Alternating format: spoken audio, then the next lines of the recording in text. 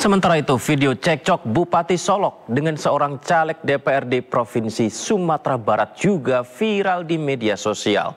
Kericuhan lantaran sang caleg menanyakan terkait pemecatan istrinya sebagai tenaga honorer di RSUD Arosuka Solok. Aksi saling dorong terjadi saat Bupati Kabupaten Solok dengan seorang caleg DPRD Sumatera Barat.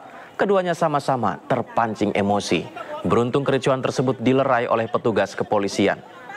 Cekcok bermula pemirsa saat caleg bernama Bahul ini mempertanyakan kepada Bupati Solok Epiardi Asda tentang pemecatan istrinya yang bekerja sebagai honorer di Rumah Sakit Umum Arosuka Solok. Sang caleg menuding pemecatan tersebut berunsur politis karena tidak ada alasan yang jelas terkait pemecatan istrinya. Sementara itu Bupati Solok belum memberikan pernyataan resmi terkait insiden ini istri saya pulang dari Padang biasa kan tidak adilan Anda. Marahan bupati kepada saya sehingga istri saya akhirnya diberhentikan.